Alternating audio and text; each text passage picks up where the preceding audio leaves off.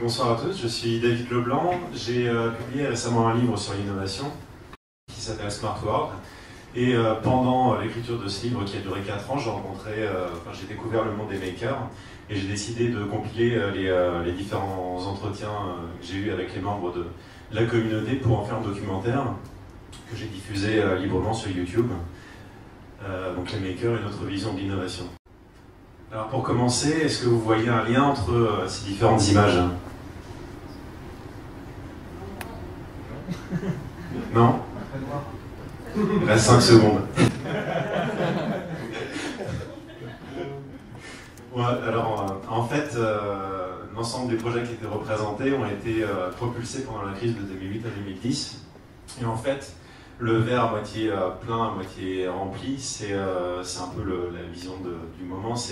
Pendant la crise, il y a beaucoup de monde qui a vu le verre à moitié vide, et il y a une partie qui a vu le verre à moitié plein, qui a saisi des opportunités, comme Google qui a lancé euh, la, Google Car, les premiers véhicules autonomes.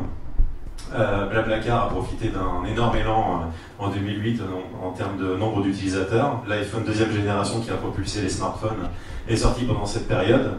Euh, les cobots euh, avec Baxter, par exemple, euh, sont aussi apparus pendant, pendant cette période. On a vu apparaître également le, Bitcoin, qui s'opposait au système bancaire centralisé, et les imprimantes 3D.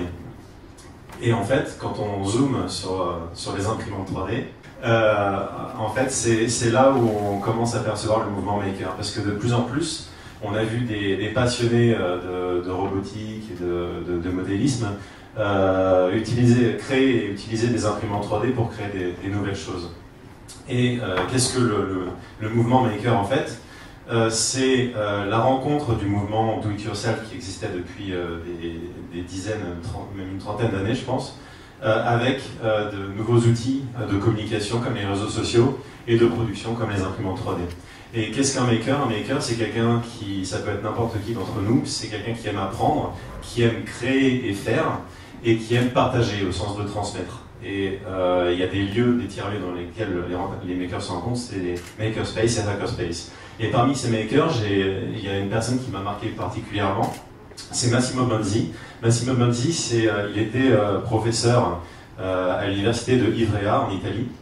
Et il enseignait le physical computing, qui est en fait destiné à apprendre aux étudiants en design euh, comment créer de nouvelles interactions entre des objets électroniques et, euh, et, des utilisateurs. Et en fait, pendant, pendant ces cours, les étudiants passaient plus de temps à, régler euh, les problèmes d'électronique et les problèmes de soudure, etc., qu'à réellement se concentrer sur, sur le métier qu'ils étaient en train d'apprendre.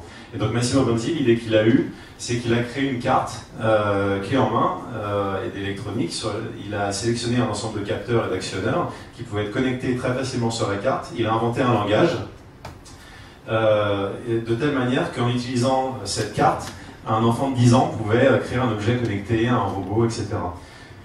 Et en fait, il s'agit de la carte Arduino. je ne sais pas si vous en avez entendu parler, c'est une carte qui est, euh, est, assez populaire et diffusée euh, aujourd'hui. Elle a eu un énorme succès, elle a donné énormément d'idées à plein de monde. Euh, il y a eu beaucoup de robots, de, projets un peu marrants. Là, en, haut à gauche, on voit un petit, un petit chat. En fait, c'est une boîte. Quand on remonte l'interrupteur, il y a un interrupteur derrière la patte du chat. Quand on remonte l'interrupteur, la boîte s'ouvre, le chat sort le bras et pousse l'interrupteur dans l'autre sens.